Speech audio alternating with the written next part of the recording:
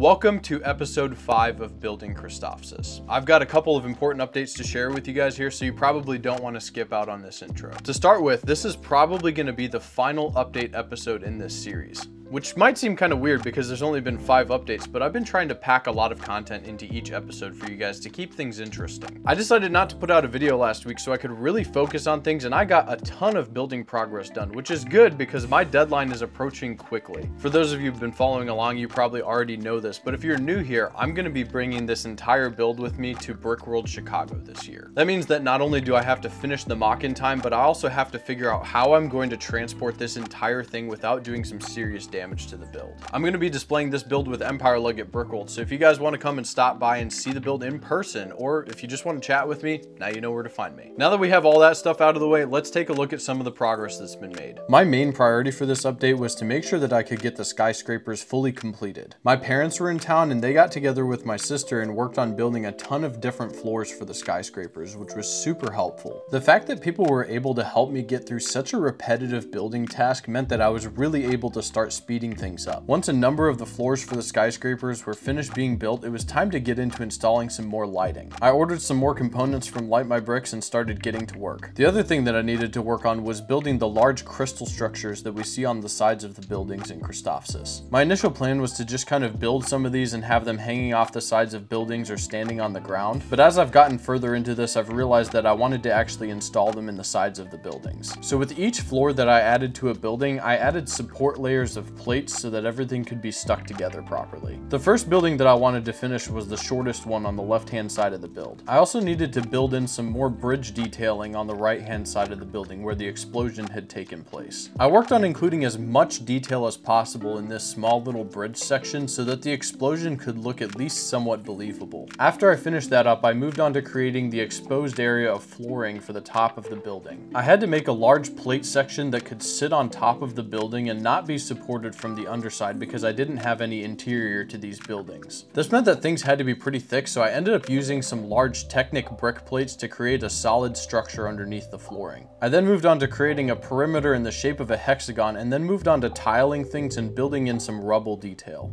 Once I got that top floor installed, I worked on creating a little bit more detail with destruction from the glass and the crystals on the floor, and then I built up around the edges of things to make it look nice and destroyed.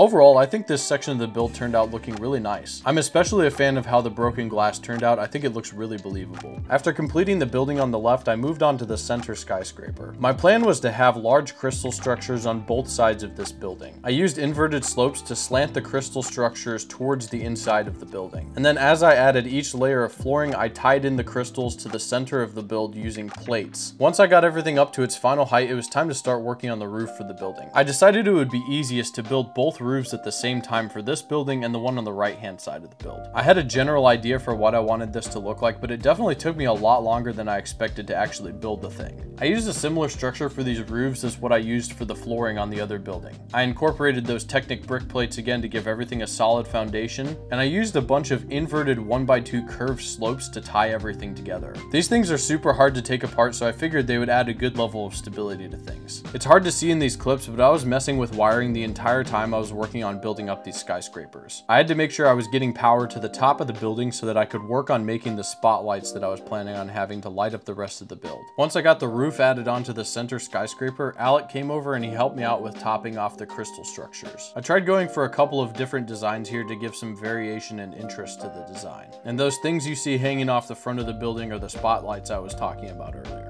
After finishing up the center building, I moved on to the final skyscraper on the right hand side of the build. I continued to use the same technique of stacking floors and adding in plates to tie the crystal structure into the side of the building. As things got taller and taller, I actually had to climb up on top of the table to finish off the crystal structure on the back side of the building. Next, I moved on to making sure all of my wiring was squared away and I started working on building a couple more spotlights. The whole purpose of these spotlights coming off the front side of the building is to illuminate the battle on the ground. This was the best place that I could think of to put this lighting without it looking super out of place or blocking parts of the battle from the front. I also made a spotlight on the left hand side of the building to point upwards towards the gunship that I was planning on mounting on top of the skyscraper. I was definitely a little bit nervous at first to get this gunship mounted on top of the building, but once I built up the structure, it was feeling really sturdy and I thought it looked awesome. Now that all the buildings are complete, it was time to work on the final crystal structures on the ground. I knew that I wanted to tile off all of these gray base plates, but I wanted to start by finishing off the crystal structures that were coming up from the floor. I started off on the right hand side of the build with this super tall crystal structure that just sort of sits up right against the side of the building. Again, I tried incorporating a couple of different angles to make it look somewhat organic. Next, I worked on tiling off the entire 48 by 48 stud gray base plate on the right hand side of the build. I wanted to try making a bunch of different types of crystals to give a sort of organic look to the landscape while staying true to the general look of the source material. After I got that side done, I moved on to the center of the build where I ended up doing a similar thing and just kept tiling away and building different crystal structures. I've been really looking forward to getting to this part of the build because covering up all those studs with with tiles is super satisfying. I was generally feeling pretty good at the beginning of this build with picking this blue color to represent the crystals, but as time went on, I was really actually feeling a little bit unsure about my decision here. After getting everything tiled off though and adding in all these crystal structures, I think this blue color adds some really nice contrast to things. It's not exactly a color that you see used very much, if at all, in Star Wars builds, but I think it really pops in this case. The next thing on my list to get working on was parting together an NR-N99 tank droid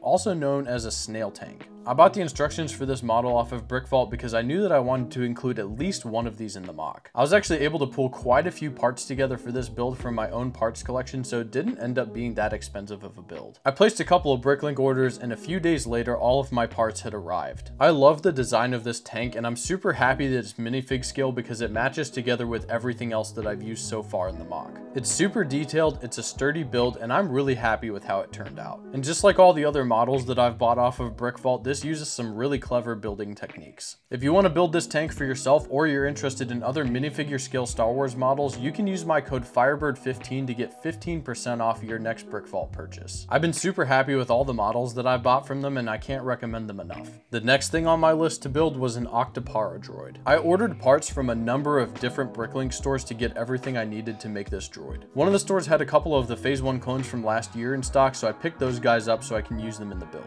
I worked on getting all my Brick Bricklink orders sorted into these trays and I started building. This was a pretty straightforward build and it didn't take too long to get everything done. This Octuptarra droid is also minifig scale, so again, it fits in perfectly with everything else in the MOC. I want to give a shout out to Phinix Building Studios for sending me the instructions to this model for free. He's made a really cool model here, so I'm going to leave a link to the instructions down in the description of this video so you guys can go pick them up if you want to build this for yourself. Hope you guys enjoyed this progress update. I'm going to be releasing a couple of different videos around the finale of this MOC. Of course, I'll be doing a full walkthrough and cinematic so you guys can see all the details within the build. I'm also planning on doing a full build time-lapse video where I take all the time lapses that I've filmed over the entirety of this build, stick them into one video, and then there'll be some extra footage that you guys won't see in the updates that's coming over the next few days as I finish things up. I really like the videos that David from Solid Brick Studios has been doing recently where he kind of takes everything that he filmed within a MOC series and packages it all together into one nice short video. I think it's especially good for people who haven't followed along for the entire series, so this will kind of be my version of that. I have a couple other video ideas that I'm not fully committed to yet, but we'll see what else comes out of this. Check out one of these videos on screen here to see some of my other MOCs and subscribe so you don't miss out on the finale. Otherwise, thanks for watching, and I hope you have a good one.